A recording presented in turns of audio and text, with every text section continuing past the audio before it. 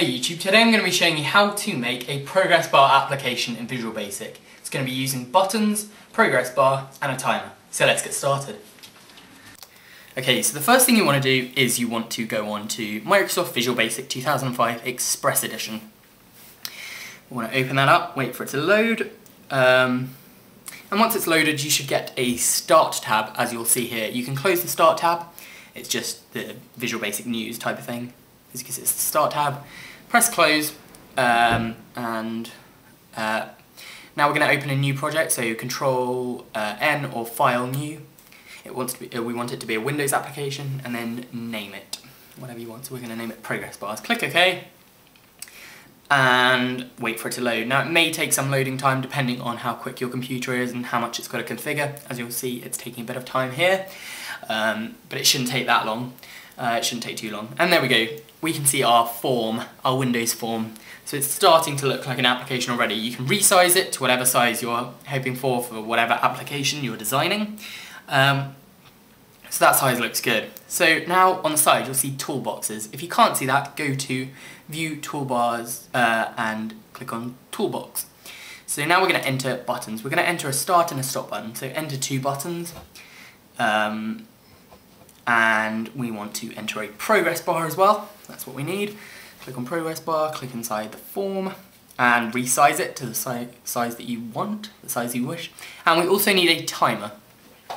Now if we click inside, you'll see there isn't anything in the box, but if you go down, you'll see it's down there on a tab below because it's not it's not a visible kind of thing, but it's working in the background. Now we'll go to properties on the right hand side on the bottom and uh, on text, click uh, on text, we want start for that button.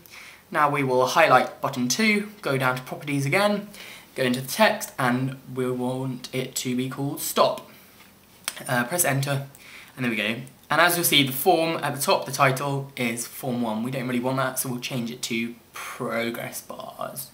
Progress bar, dot dot. Um, press enter, and as you can see, the title has now changed.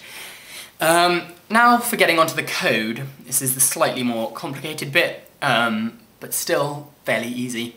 Double click on the start button and you should see this pops up, form 1 instead of just form 1 uh, design. And you've got a private sub for button 1. So now what we need to type inside pri the private sub, sub sorry, is if button 1 dot enabled equals true, then timer 1 dot enabled equals true sorry about that, true, getting violent, um, uh, timer1.enabled equals true. We'll go back to the design tab and as you can see that's named timer1 and that is named button1 in the properties. That's called timer1. So if so basically you can change the names so but basically it's saying if you press the start button, button 1, then the timer is going to be enabled. Now we want to go onto the timer 1 uh, private sub um, the, the sub um, in the code and we want to write if timer 1 dot enabled equals true then uh, progress bar 1 dot enabled um, equals true.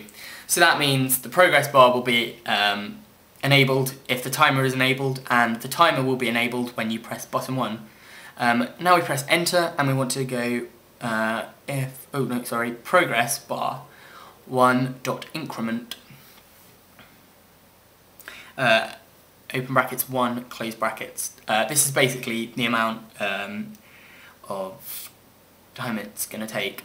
Press play and we're going to press start. And here's our application. As you can see, it's starting. But if we press the stop button, nothing's happening. If we press the start button, nothing's happening either.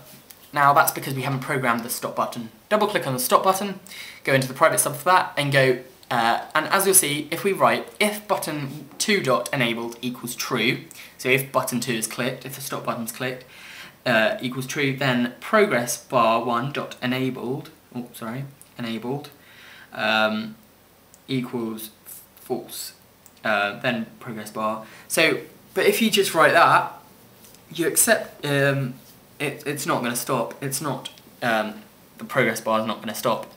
And that is because the timer is still enabled.